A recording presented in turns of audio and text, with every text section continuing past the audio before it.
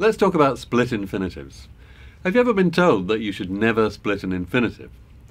Well, a split infinitive is when you place an adverb between the word to and the verb. For example, in a sentence like, Congress voted to immediately approve the new medicine. This rule about not splitting infinitives has been around for well over a hundred years, but there is not a single piece of evidence to support it. In fact, writers who make great efforts to avoid splitting infinitives can sometimes end up making their meaning less clear.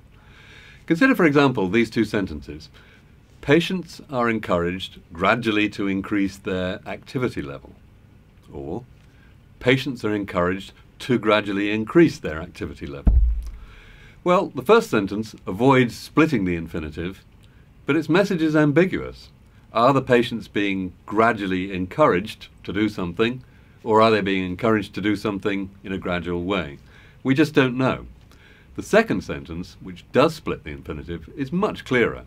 So in this case, to gradually increase is the better choice. Successful communication depends on the writer or speaker conveying their message as clearly as possible. And sometimes the old rule about not splitting infinitive just gets in the way.